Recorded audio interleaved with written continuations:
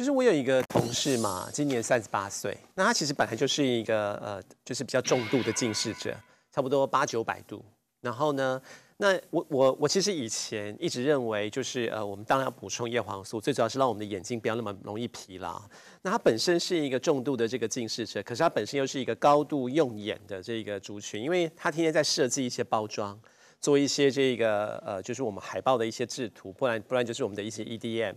那有一天他突然告诉我，他得到了白内障。嗯，我其实是吓到的，因为以前我们都认为得到白内障应该是六七十岁啊，七八十岁。对。因为呃，我们的健保有给付嘛，所以我们会认为这应该是老人才得到的疾病。嗯。但他今年才三十八岁耶，而且呢，他不是一眼哦。